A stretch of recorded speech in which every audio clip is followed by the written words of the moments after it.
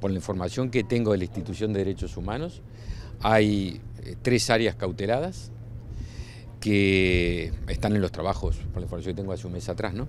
en los trabajos previos, porque hay todavía un área, un porcentaje de un área que tiene una cautela del Poder Judicial en el batallón 13, en torno del 15% que quedaba de, trabajo, así que seguramente luego será el batallón 14. ¿Siguen las tareas?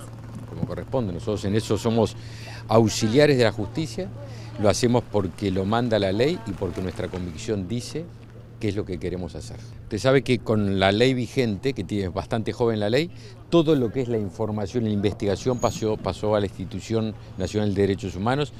Eh, yo he charlado con, con integrantes de la Presidenta y con integrantes de la institución, son los que reciben la información en el caso de que nosotros la tuviéramos hasta hace, cuatro días que asumimos. Si la, no hemos recibido nada en estos cuatro días, si la recibiéramos inmediatamente la pondríamos a consideración.